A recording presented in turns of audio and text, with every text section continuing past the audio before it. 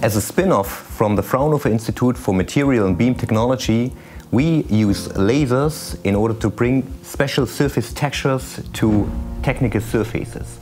And these textures are inspired by natural surfaces like the lotus leaf or the moth eye effect. What is amazing about our technology is that we already demonstrated together with our partner Airbus in a European funded project at Fraunhofer that we can use this kind of approach, the lotus leaf effect uh, on airplane surfaces in order to make new features available like ice which sheds off from the surface by itself.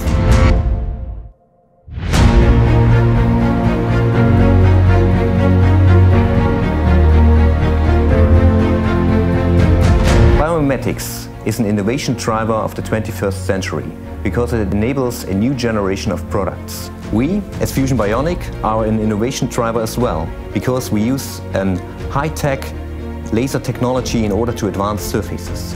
We can do that at very high speeds, up to 3 square meter per minute, and this makes it very interesting for many industries.